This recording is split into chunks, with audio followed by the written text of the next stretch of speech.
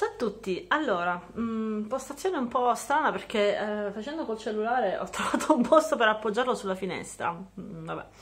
E volevo farvi il video dei prodotti finiti perché ho una serie di cose di cui devo assolutamente liberarmi. E, mh, intanto libero questa busta dove ci sono prevalentemente cose per capelli, vado molto velocemente. Eh, in primis questa, vabbè, semi permanente del colorista vabbè questo è stato un esperimento molto molto uh, fallimentare. Uh, strawberry blonde si chiama questo? Sì. Uh, insomma avevo le punte chiare come potrete immaginare, perché adesso sicuramente non potrei farlo, ma assolutamente non ha fatto mm, niente di niente, ma neanche un vago riflesso. Al di là di questo, eh, in generale, in realtà ho provato anche altri prodotti della colorista, tinta per capelli permanente, un'altra semi permanente, non mi sono trovata bene con niente e quindi basta, croce sopra, io non prenderò più nulla della linea colorista. Speriamo. Poi ho finito uh, questo kit che è il remover della um, Vitalitis, si chiama Color Off Vitalitis, la marca è questa. E ho già fatto dei video su questo prodotto, questa è la seconda confezione che io termino. E in pratica cos'è? È, è eh, un prodotto che rimuove il pigmento dal vostro capello. Non è una, una vera decolorazione ehm, è, insomma è lunga da spiegare. Comunque se non mi scordo vi lascio il video il, il link di uno dei video che ho fatto. Eh, ho fatto un errore quindi mi, altrimenti viene una cosa troppo lunga. Comunque ho sbagliato l'ultima volta perché cosa ho fatto l'ho usato non molti giorni fa.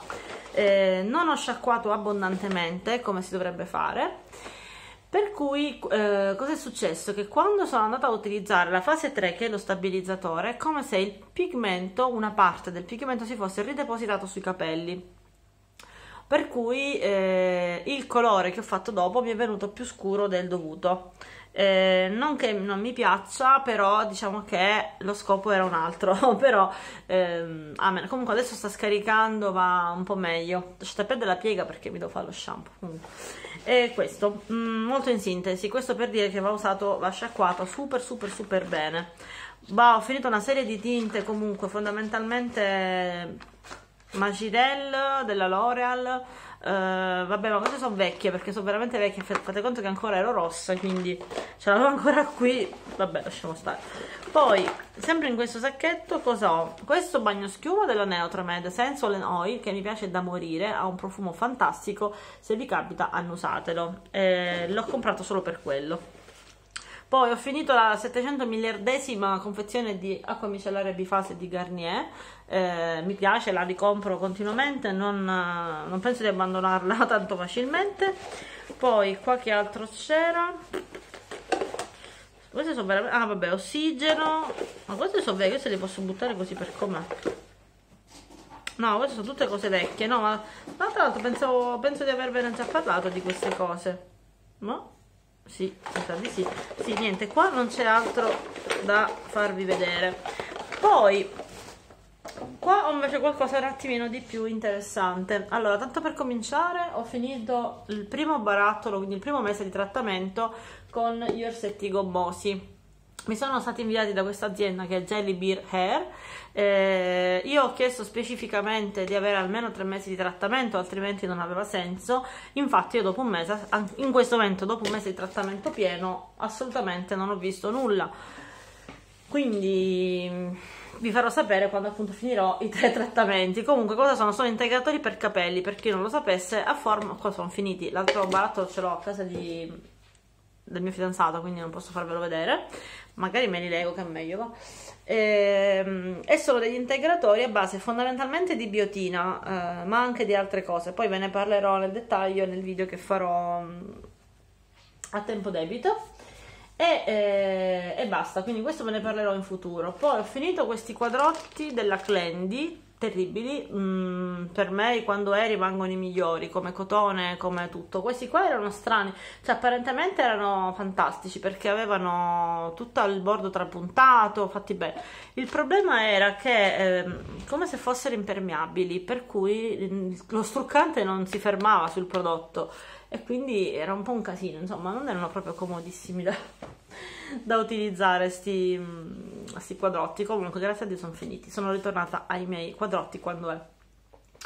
Poi prima che mi dimentichi quello che ho sulle labbra è in My Birthday Suite di Mulak. Sugli occhi va un trucco molto semplice più che altro perché volevo provare il mascara e vedere bene l'effetto direi che si vede bene l'effetto del nuovo mascara Mulak. Ve ne parlo nel video haul che farò dopo, girerò dopo di questo poi cerco anche un'altra posizione perché non mi piace questa. E poi ehm, ho finito questa mousse detergente viso corpo della, dell'Eubiotic.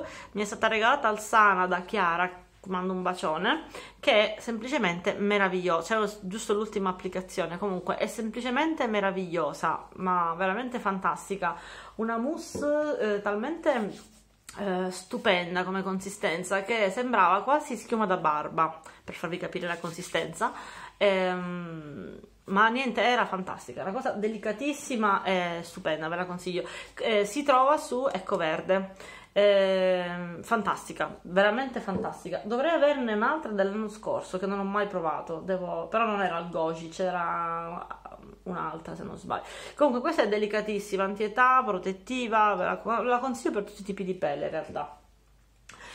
Poi eh, vi faccio vedere, eh, no, i campioncini magari alla fine, no, ve li faccio vedere adesso i campioncini. Questo campioncino di Marc Jacobs del primer per gli occhi che si chiama Undercover ehm, che era fatto così. Sono riuscita a utilizzarlo due volte, ma sapete che mi è piaciuto tanto. Veramente tanto, non me l'aspettavo, non so dirvi perché, cioè nel senso sì, lisciava la palpebra, um, dava un leggero effetto uniformante e mi ha sconfinferato assai, solo che non ha un costo così, eh, diciamo, un rapporto qualità-prezzo talmente alto da pensare di comprarlo. Solo che sono un po' stufa del Primer Potion in Eden, non so perché trovo che mi eh, secchi un po' la, pa mm, la palpebra, nel senso non trovo si stenda così bene, cioè mm, faccio un po' fatica, non lo so, ultimamente mi sta un po' sulle palle sto primer. Però mi piacciono i primer uniformanti, io avrei anche quello anti-age di Urban Decay che è ottimo, però preferisco i primer uniformanti. Stamattina infatti sono anche andata da NYX, ehm, speravo di trovare qualcosa di, di simile di, come concetto, però non ho trovato nulla. E quindi per ora Nisba. E poi l'altro campioncino che ho finito è dell'olio uh, Wilberry 10 di Mulak, questo qua. È come vi farò vedere, vi dirò nel video haul a seguire, mi è piaciuto così tanto che l'ho ricomprato, cioè che l'ho comprato, non che l'ho ricomprato. Ve ne parlo meglio nel video haul, anche perché vi so, avendolo usato già tante volte, vi so dire diverse cose. E infine, due prodotti, eh, uno non mi aspettavo finisse così presto, sinceramente, mm, ce n'è un goccio, ma no, ne ha, sì c'è un goccio, ma faccio fatica a farlo uscire, stasera provo a farlo uscire. Comunque sto parlando del siero Advanced Night Repair di Estée Lauder, mi è stato inviato da Estée Lauder tramite Octoly, eh, io ho già fatto un video in cui ve ne parlo, anche se era troppo presto, eh, adesso che l'ho finito cosa vi posso dire? Sicuramente eh, rimane il fatto che non mi piace come si stende sulla pelle asciutta, motivo per cui io lo applico sempre con la pelle umida, eh, da, bagnata dall'acqua termale e così riusciamo a metterlo tranquillamente.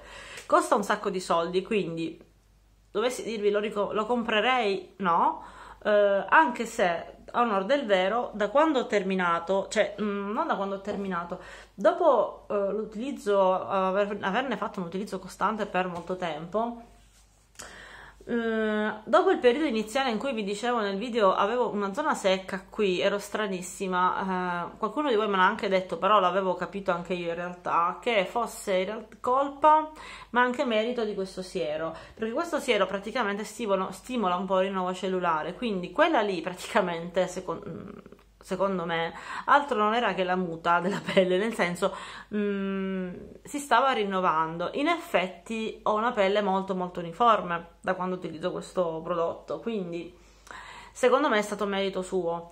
Uh, sul fatto di pensare di comprarlo uh, ci dovrei comunque pensare aspetterei per vedere se passando ad altri prodotti la situazione cambi, degeneri, allora lì potrei capire, sì è stato lui, cavolo me lo vado a ricomprare tipo immediatamente, no costa tipo 90 euro, quindi insomma è un prezzo importante, eh, però secondo me è merito suo, quindi il mio parere finale è eh, molto buono, buono, solo che non è di quelle eh, non è un'esperienza sensoriale piacevole, ecco, questa è la cosa che mi ha lasciato un po' mm, così. Però oggi mi hanno dato dei campioncini interessanti, quindi devo... un campioncino interessante, quindi stay tu, no, state, state a cuore, state, rimanete, continuatemi a guardare così magari ne riparleremo. Ultimo ma non ultimo, per importanza soprattutto, eh, ho finito, non solo ho finito un prodotto di make up che già è un evento, ho finito una cipria. E questo è ancora più un evento perché ne ho 3000, no, ne ho diverse, eh, è un, uno dei prodotti che mi piace di più. Dovresti dirmi qual è il mio prodotto preferito nel make up, eh, probabilmente risponderei alla cipria. Non ne posso fare a meno, quindi ne cerco sempre di buone.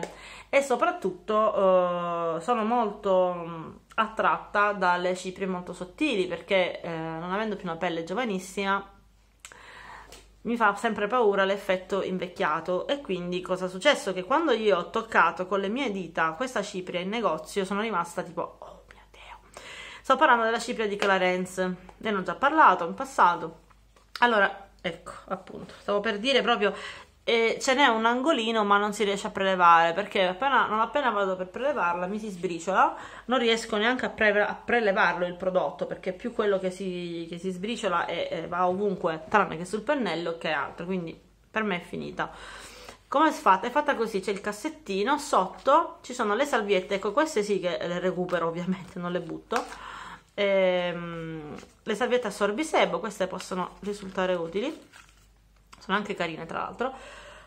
Eh, allora, che dire di questa cipria? La cipria di per sé all'inizio non mi era piaciuta perché io l'avevo comprata con lo scopo, l'intento di portarmela dietro. Il problema è che con la spugnetta non va bene.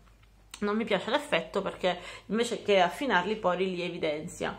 Invece col pennello l'ho rivalutata tantissimo perché ehm, la cosa che ho notato, ecco, ci sono altre ciprie che affinano i pori, non segnano, eccetera, eccetera però la cosa che ho notato, e ho capito che era merito suo con vari tentativi, che eh, faceva durare tanto di più il trucco. Io mi mantenevo più opaca più a lungo ed è una cosa che difficilissimamente, cioè rarissime volte in vita mia io ho riscontrato in una cipria. Quindi straconsigliata, però non se avete intenzione di usarla a casa con la spugnetta, ma per quanto mi riguarda solo se avete intenzione di usarla um, col pennello. Ecco, questo è quanto. E basta, mi sembra di non avere altre cose di cui parlarvi. Adesso vorrei fare un piccolo video haul e ci vediamo al prossimo video. Ciao!